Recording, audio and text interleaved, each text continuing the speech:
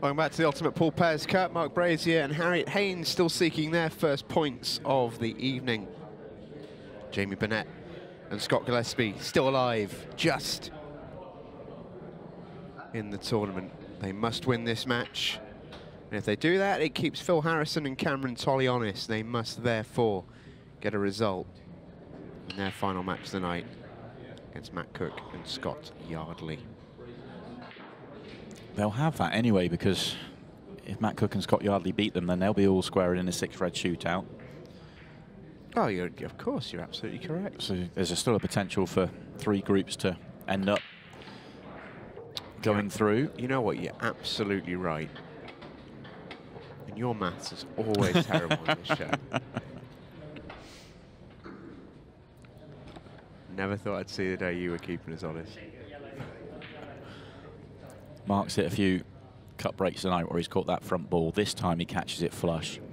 There's still not a huge amount of power there, and therefore they don't open up as much as we saw with Cam Tolley.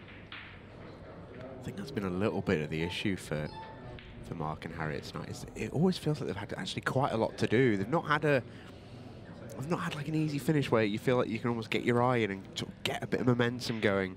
Even that first shot for Harriet there is tough. Yeah, the layout actually was very good there. If Harriet makes the first shot, then you can sort of pick that one apart, but it was an awkward first shot. And it is just tough when you, you can't get into the night, you can't get a rhythm going, and it's hard to get a rhythm going in pairs as well. It can be tough out there. Absolutely.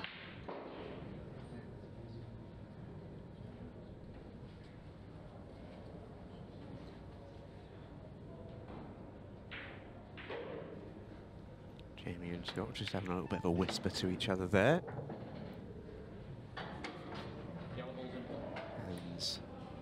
And execute the first shot nicely.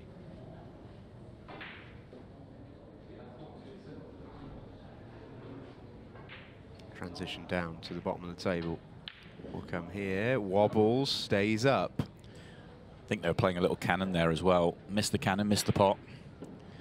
Hasn't left anything nice on here for Marc and Harriet.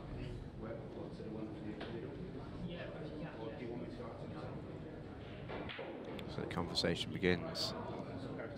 I think Marc can actually get through to the red to right centre, so actually there's more on here than I first thought. There's actually one one red that's really awkward and one that you can get to. Two together at the bottom. The left-hand one obviously goes. If you get on that one, then it opens up the other one. And at some point, you need an angle to develop the bad ball, which you could do now, but if you do it now, you, you're knocking the yellow down the table into the other two, so you probably want to avoid it at this point. Oh, Harriet has played into it, but she plays into it from underneath, so it's sending it up. You were never going to send the yellow into the two reds. The problem going underneath it is landing on the next ball wasn't guaranteed.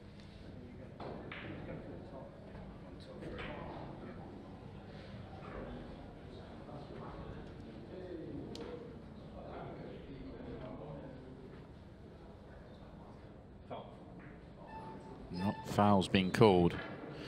I'm assuming Marc feathered the red. Let's have another look.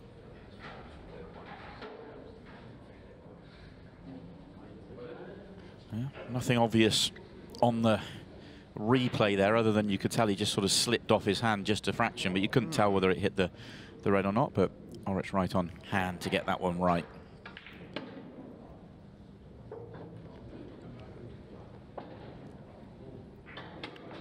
Yeah. At this point, this finish becomes very easy. Just drop that cue ball on a dime. Pop the rest off your yellows.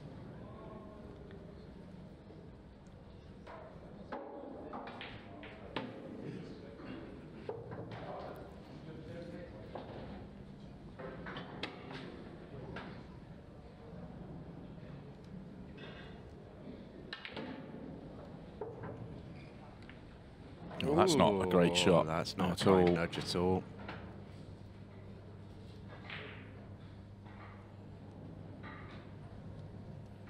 Another double attempt for the Scots. And no bueno. And it's very similar to the one that Jamie missed in the previous match. Played it at not much more than pocket weight, and then it just throws that little bit wider when you do that. And both Jamie and Scott miss their doubles on the wide.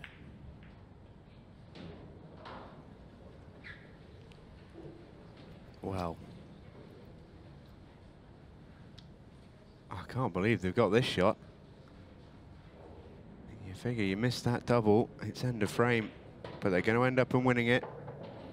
Oh, cue ball was almost in off. Oh.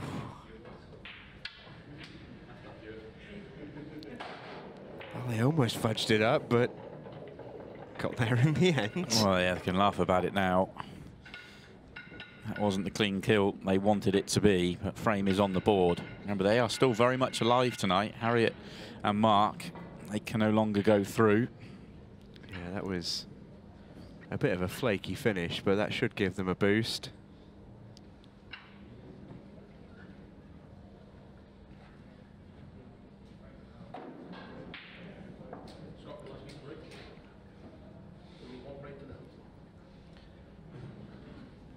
Be back on the break to keep things back on topic.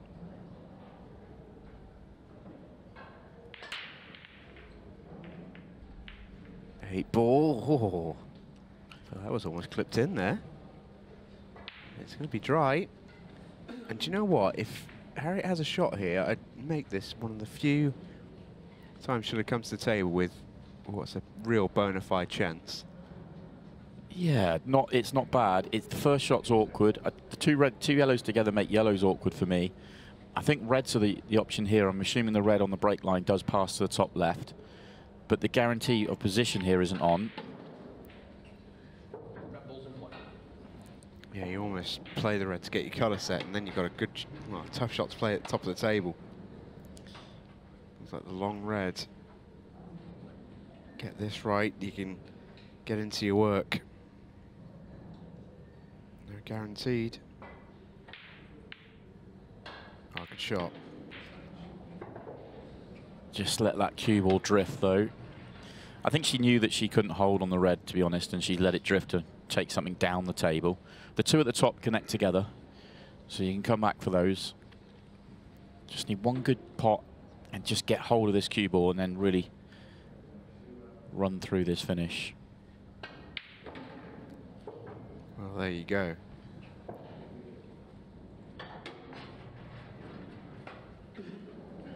Interesting to see whether she chooses to leave a red down the table here. It's definitely an argument for doing that, isn't there? Yeah. I would have been tempted, though, if you're going to, to be the one that Harriet's just played. Could have just dropped the other one in the centre. It's a little bit of angle on it, but if you just drop it in, then leave the one she's just played. But the one that she's just nudged isn't terrible to leave down the table either. Well, left herself loads of angles to come down.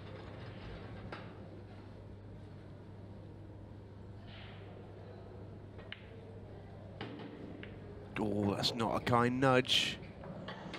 Sarcastic tap of the table, wanted to avoid that red. And now a tough shot to play. Is there any shot to play? I'm Trying to find it getting going towards a, a pocket somewhere. Is she looking at right middle here or two cushions? Not sure that's on. Up? Oh, That's what she gave a go at. looked It's like it was on in the end. A terrible leave, I don't think. I think Scott's got a great first shot here. Easy enough safety, though. Yeah. Yeah, very true. Just brush off the yellow, make sure you hit the cushion. And if Harriet makes it off one or two cushions, then so be it. But it's hard from, if he does leave the cue ball on the left-hand side, to get it going towards a pocket.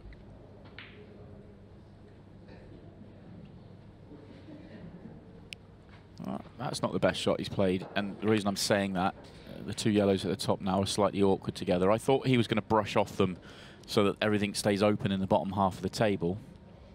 I don't know whether the plan was to play the yellow he played off the yellow nearest the left-hand side just to bump them both into play, but the one on the left-hand side near the centre pocket looks enough on anyway. Has he left the one cushion off the top of the table? Harriet can get a good hit here. She'll go close. I couldn't. Not sure that was on.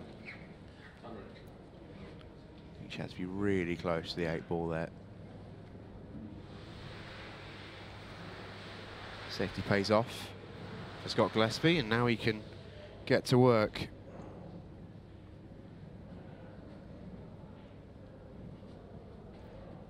As the Scots still trying to make a ripple in tonight's Ultimate Pool Pairs Cup Group 1. Can't make his mind up. And the shot he played previously, where he put those two yellows together, is part of the reason why he can't make his mind up. If he'd put those yellow, the yellow he played on this previous shot in the middle of the table or in the open, he'd be playing this one all day long, and it would be really, really simple from here. I still expect him to get out and get out comfortably, but it's just half a shot he's got to consider.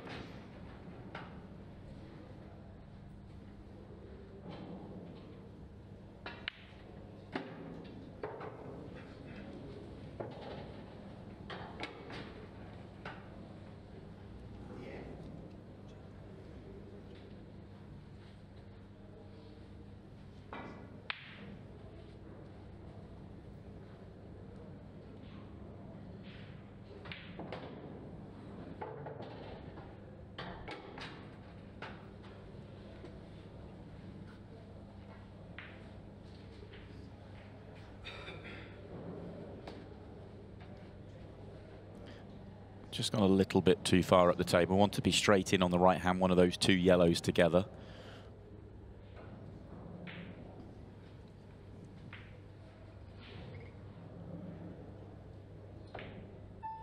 Yeah, that's why there's another safety.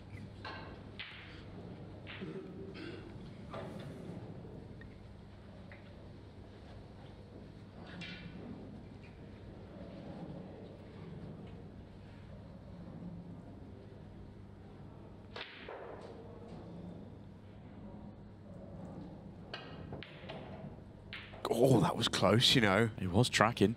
That was really close. Always a risk when you leave a one cushion of a good hit, because crazy stuff can happen. Let's have a watch on this replay here. Oh, it might have been a little bit narrow, but it, I tell you what, it was close. Good leave, though. Yeah, great leave. Big shot required here. And he's not made it. I think Harry can see this red. Getting it towards a pocket's tough, though. Oh, Scott Gillespie snickers to himself. He won't be laughing if Harriet can get this in. Oh, what a shot! That is an absolute stunner from Harriet Haynes. Bang! What an out! That's incredible. Great shot from Harriet, but you have to say Scott Gillespie has brought this on himself. He allowed Harriet to have this opportunity by not putting this frame away. And boy, did she grab it. What a finish. Absolute belter.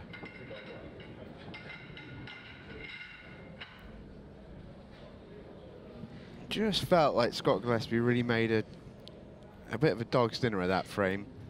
Just Yeah. messed about with it too much. Never really was really decisive. We, we said you keep giving quality ball players a shot of just hitting a ball, and stuff can just happen. Well, I made the point when he played his first safety shot, he put two yellows awkward rather than everything being in the open. And that meant he couldn't clear up with his first opportunity. And you, then you're giving Harriet some chances to do something out of a snooker. And yeah, it's uh, it, it seems like a nothing shot. When I mentioned it, people are probably saying, oh, what, why are you saying that? It's probably not going to make any difference. And yeah, nine times out of ten it doesn't. But the one that it does really hurts you. Yeah, agreed. You have to say that was an absolute jaffer from Harriet. Oh, belter. An absolute cracker.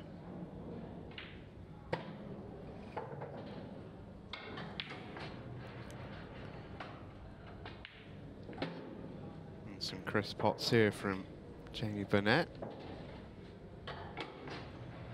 Just needs to watch his work here, though. I think he's okay. I think if he just drops the one in right centre, the cue ball will just drift past the eight ball, and then you've got the red top left, and just work your way around. Yeah, it's nice, isn't it? Yeah. You can take right centre and then go top left if you prefer. I mean, it, it's probably the right way. Top right is the better ball for the eight ball with the eight ball left centre, but it goes in so many pockets. It's just don't try. You don't need to get too good on this one. That's it. Just get back somewhere there. Doesn't matter if you're hitting the yellow or not.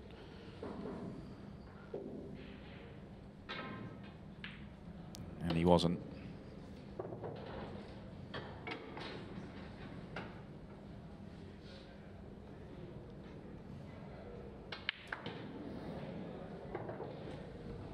Oh, simple eight ball. And after eight comes the frame. 2-1. Burnett and Gillespie back in the leads.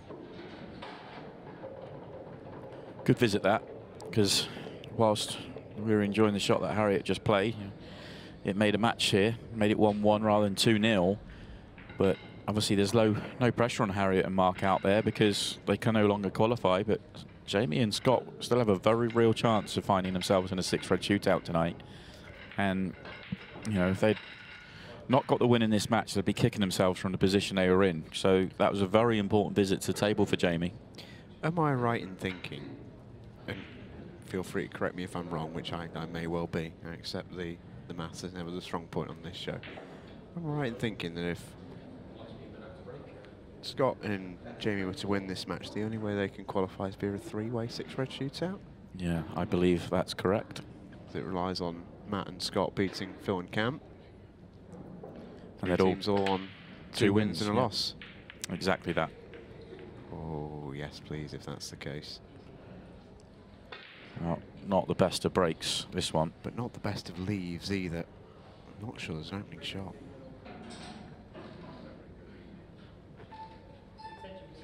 Scotch frame this one on a 15 second shot clock. Harriet and Marc have to keep their wits about each other. Oh, that's a great shot. Plays it off the reds. And yellows all of a sudden look available. They do. Every yellow's got a pocket. Okay, there's one by the red in the middle of the table that depends on which pocket that goes into. Oh, that's complete miscue from Marc. Yeah, second time he's jumped the cue ball. Just trying to do a little bit too much with it. Now, I half thought that Harriet might try and play that off the, the red and yellow together. It would have been wouldn't have been that tricky a shot, Go into it now, though. but the plan. yeah, they can go into it now. Yeah, lovely. Yeah. Really good. It's the cleaner way of playing it than the way I was suggesting, but required an excellent pot from Marc, which he got. Now the one on the line is slightly awkward. You need a good angle here. I think it's one of those, accept what you've got. If you try and get on the yellow in the same pocket, you could end up in a mess. Except the middle or the corner. The top corner, that is. Yeah, excellent choice. Yeah, I always feel like these are makeable when you're close to your work. Just to set up a decider. That's a great. This is their best visit to the table in the night. Marc Brazier and Harriet Haynes. Super finish. Well done. Very, very good. All set up by a, a brilliant opening shot from Double H, who's starting to hit her strides. Last two times she's been at the table. Some great work from the 2022 Women's Series number one. Yeah, big, big weekend ahead for Harriet. She looks to get herself back to the top of the rankings, get back in amongst the trophies in the women's series.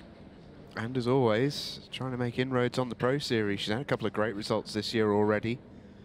Notable win last weekend against the uh, the reigning world champion, Ronan McCarthy.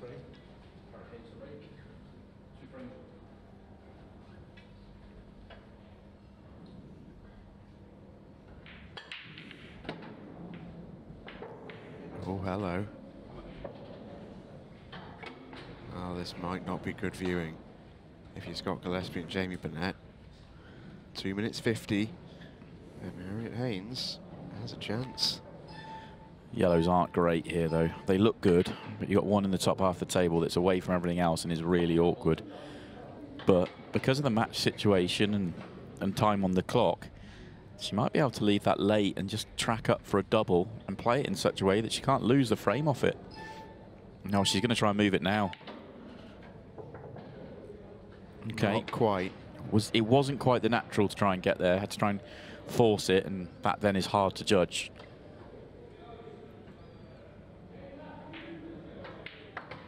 The ones at the bottom of the table here actually knit together quite nicely. It's just the one at the top of the table. Feel like she depends how straight she is on the other one, but I was feeling like she should have gone bottom right there. And then the one she's just played, because this one isn't as easy to connect to the other one. Yeah, that, that wasn't as easy as going the other way around, but it, she may have had a shade too much angle to be able to play the way I was suggesting. So maybe Burnett and Gillespie will get a shot to win the match. Tried the cross double. Ball got in the way, the double kiss comes in, and Jamie Burnett can sweep in.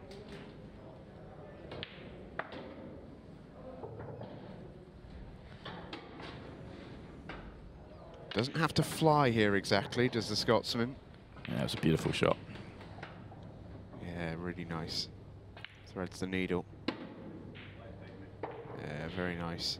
Scott Gillespie just says to him, that's the benefit, isn't it, of having your teammate out there. We've seen Jamie sort of struggled to get to grips with the 15-second shot clock, and you can see there he's almost rushing. The call comes in from Scott Gillespie. Plenty of time, mate. Just relax. And look at the difference it makes. Yeah, Obviously, uh, you can't have that in individual competition. It's, it's, it's banned. You can't actually do it. Yeah, instead of rushing and, and sort of just getting in the top half of the table, it gave him the extra few seconds just to go, okay, where am I getting to? And now he's an ability that he can run the clock down as well. Yeah, and they have the extension too, so won't worry about using all of this, it just takes out the clearance. So they know the only way they can lose the match now is via golden break or duck, and it is their break next. So this is all but for the match. A 3-2 leads. And it runs to 12 seconds left on the clock. Time for one last break. And as long as you don't foul off this break, it should be the match. And uh, Scott Gillespie's enjoying his role, I think, of coach. I think him and Andy Sullivan are enjoying giving Jamie some pelters out there. Well, he's done the lion's share of the work in this match. He made the break clearance to get them back in front, and then the counter clearance to go back in front once again.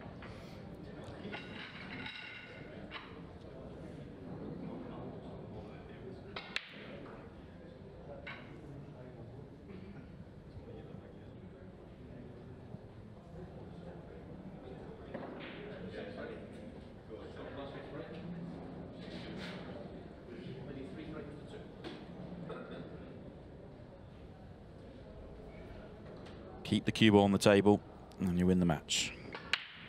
Yeah, took everything off that one. No mistakes.